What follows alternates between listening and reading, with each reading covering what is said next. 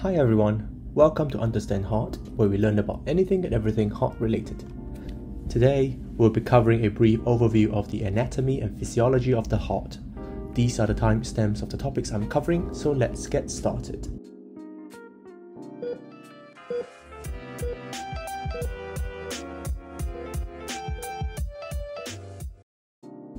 The heart is a major component of the cardiovascular system, and alongside with the blood vessels, it plays a vital role in transporting blood around the body.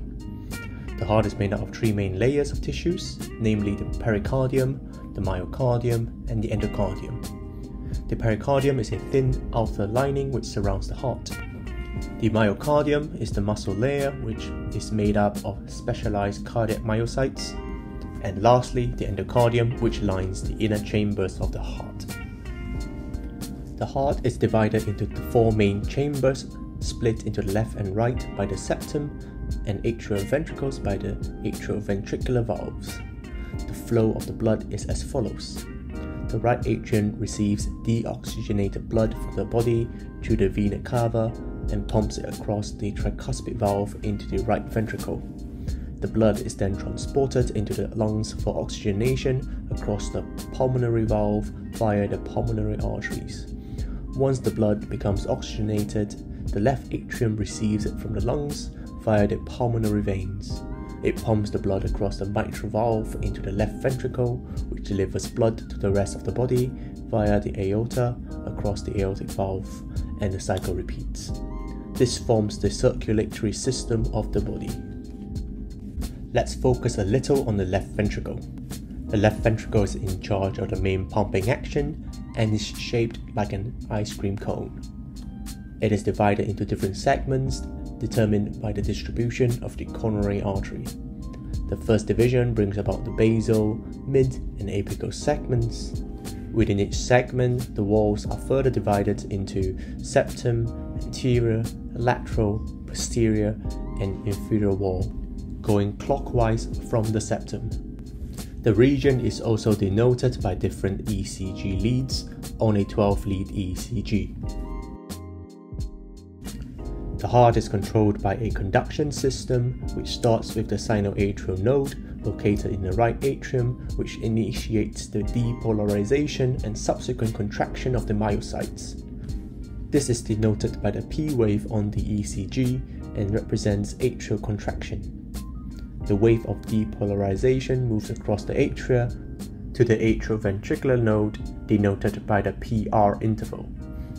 After a short delay, to allow complete contraction of the atria, the atrioventricular node depolarizes and sends the action potential down into the bundle of His, followed by the left and right bundle, before reaching the Purkinje fibers, which will depolarize the ventricles, causing contraction represented by the QRS complex. This is then followed by the T wave, which represents the repolarization of the ventricles, where the ventricles relax. The cycle is then repeated from the sinoatrial node for the next heartbeat. Last but not least, the myocytes are supplied by a network of coronary arteries arising from the aorta the coronary is divided into left and right coronary system, with the right coronary artery or RCA arising from the right cusp of the aortic valve and the left from the left coronary cusp. The right coronary artery propagates along the heart, branching out into smaller arteries. Apart from supplying the right ventricle, in the majority, the right coronary artery provides the posterior descending artery, supplying the left ventricular, posterior, and inferior walls. The left coronary system starts out as the left main coronary artery or the left main stem. It then bifurcates into two big branches, which are the left anterior descending artery and the left circumflex artery. The LAD supplies mainly the anterior wall of the left ventricle and the circumflex the lateral wall. The left coronary system supplies the majority of the left ventricle, and that is why occlusion of the left main stem can have disastrous impact on the heart function.